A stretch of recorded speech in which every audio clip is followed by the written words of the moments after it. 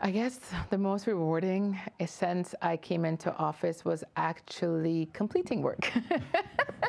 the most, that's why I said, you know, to see that things had been started on uh-huh. in the uh-huh. past. Um, to so when you look at the the marine sector, yachting sector, boating, that's very close to my heart. Yeah. I mean, I was on a boat from the time I could I was born, and to see how you can assist that sector that is very very close to me. Yeah.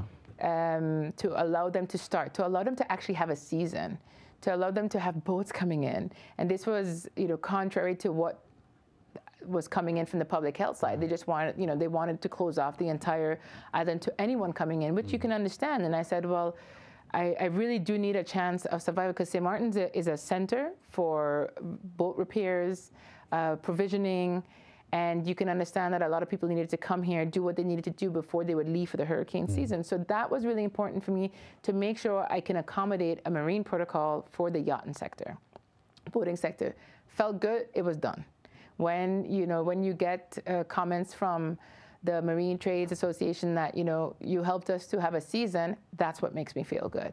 When I see in my dialogue, I think one of the favorite things about my job is the the conversations I have with stakeholders, hotels, um, you know, businesses, nightlife businesses, uh, casinos, nighttime, the clubs, everybody that has had to basically be affected by the decisions to close earlier having a dialogue with them where they don't really hate you, even though they're upset they have to be closed, mm-hmm. that's important to maintain that. Yeah.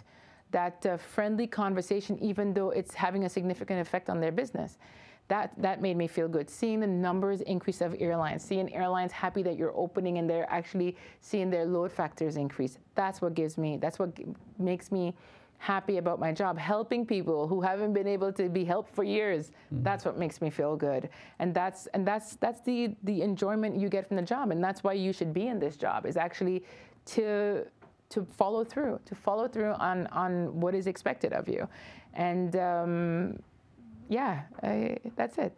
You know, because too often, a lot of people don't want to go into politics. It's dirty but it can also be good. Yeah. And I told someone the other day that the beauty of going into politics, you can also help people. That's, I think, the most important yeah. part for me is being able to help people.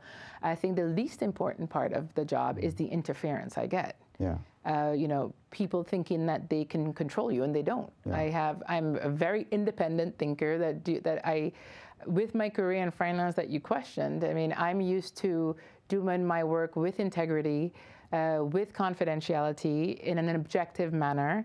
And um, yeah, I just I feel like when you have this, you it's you're independent, objective, confidential, and with integrity.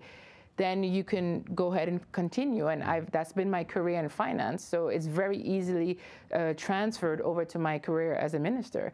But the interference, I really can't uh, I can't deal with, and that's it's very um, time consuming and distracting for people to continuously have to to answer to others that think that they can tr- control you.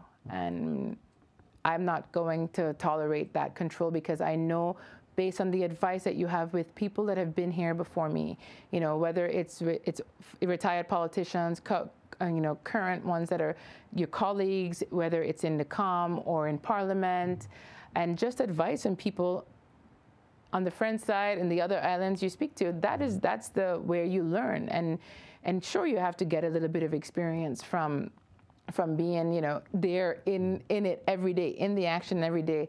But the you have to realize that there is a separation um, within within government for a reason. And I think sometimes you as a minister you can you tend to get distracted by a lot of noise that's coming in, a lot of questions, and and what I would love to see going forward, and it's something that I I am planning to do is that uh, there is better dialogue. You know, like you, you basically expect a better relationship instead of continuously being questioned yeah. to actually being assisted, especially when it comes to legislation changes. Yeah. And um, not feeling like a, the role of, of, of some is to attack the ministers, but actually I think that what the island needs to kind of figure out is that we're all supposed to be going in the right direction together.